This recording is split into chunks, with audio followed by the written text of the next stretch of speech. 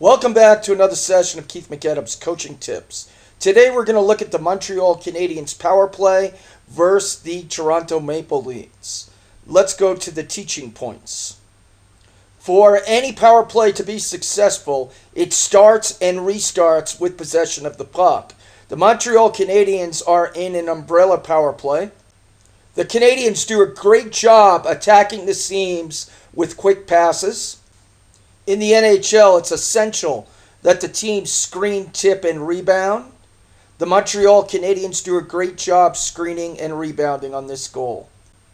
Let's go to the tape. You'll see on this power play the puck shot wide. The Canadiens restart the power play by getting possession of the puck.